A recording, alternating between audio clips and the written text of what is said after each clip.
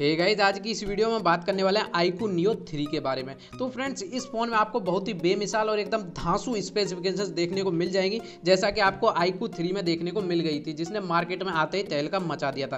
Friends ये phone यहाँ पर एक गेमिंग सेंटरिंग डिवाइस होने वाला है। इसमें आपको बहुत ही कमाल की डिस्प्ले और यहाँ पर प्रोसेसर तो बहुत ही गजब का मिलने वाला है। तो फ्रेंड्स चलिए सबसे पहले हम बात कर लेते हैं इसकी कुछ स्पेसिफिकेशन के बारे में। फ्रेंड्स अगर मैं सबसे पहले इसकी डिस्प्ले के बारे में बताऊँ तो इस फ़ोन में आपको सिक्स इंच की सुपर एमुलेट डिस्प्ले देखने को मिल जाएगी। और जो सबसे अच्छी खास बात है वो है, ये है कि फ्रेंड्स, इस फ़ोन में आपको 144 144 हर्ज का रिफ्रेश रेट देखने को मिल जाता है। तो फ्रेंड्स, यहाँ पर आपको बहुत ही काफ़ी अच्छा रिफ्रेश रेट देखने को मिल जाता है, जो कि आपको शायद ही किसी फ़ोन में देखने को मिलता हो। तो फ्रेंड्स, यहाँ पर आपकी डिस्प्ले क्वालिटी तो काफ़ी ज़्यादा गजब होने वाली है। अगर मैं इसके परफॉर्मेंस के बारे में बात करूँ तो इस फ़ोन में आपको स्नैपड्रैगन 865 का ओक्टा कोर प्रोसेसर देखने को मिल जाता है। तो फ्रेंड्स, यहाँ पर एक ये 5G चिपसेट है। तो फ्रेंड्स, यहाँ पर आप इसमें आसानी से 5G चला पाएँगे। और यहाँ गेमर्स के लिए काफ़ी अच्छा होने वाला है। फ्रेंड अगर मैं इसके फ्रंट कैमरे के बारे में बात करूँ तो इस फ़ोन में आपको 16 एम का AI selfie camera with right side punctual के साथ देखने को मिल जाएगा। अब बात कर लेते हैं हम इसके रियर कैमरे के बारे में तो इस फ़ोन में आपको पीछे क्वेड कैमरा सेटअप देखने को मिल जाएगा, जिसमें 48 एम का प्राइमरी लेंस 13 एम का टेलीफोटो लेंस 13 एम का ultra wide angle lens and two M का डेप्थ एंगल लेंस देखने को मिल जाएगा। तो फ्रेंड्स यहाँ पर आपकी कैमरा क्वालिटी भी काफ़ी ज़्यादा एनहेंस होने वाली है।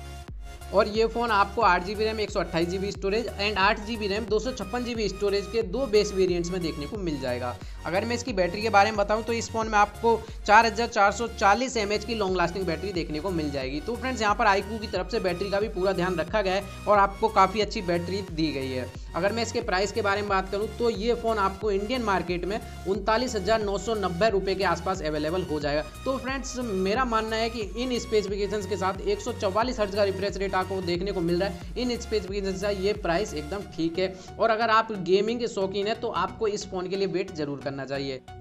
तो चलिए अब बात कर लेते हैं इसकी लॉन्च डेट के बारे में। तो फ्रेंड्स ये फ़ोन आपको ट्वेंटी थर्ड अप्रैल के आसपास मार्केट में देखने को मिल जाएगा। और फ्रेंड्स अगर मैं इसके कुछ एक्स्ट्रा फीचर्स के बारे में बात करूँ तो इसमें आपको अंडर डिस्प्ले फिंगरप्रिंट सेंसर देखने को मिल जाता है और इस फ़ोन में आपको फोर गेम वाइब्रेशन का सपोर्ट देखने को मिल जाता है। तो फ्रेंड्स मैं आसानी से कह सकता हूँ, ये फ़ोन एकदम गेमिंग सेंट्रिक डिवाइस है आईकू की तरफ़ से। तो फ्रेंड्स अगर वीडियो पसंद आई है तो वीडियो को लाइक करना, नहीं तो डिसलाइक करना। और आपको इसकी कौन सी स्पेसिफिकेशन सबसे ज़्यादा पसंद आई, नीचे कमेंट बॉक्स में कमेंट करके ज़रूर बताना। और आपका कोई सुझाव या सवाल हो तो नीचे कमेंट बॉक्स में कमेंट ज़रूर करना।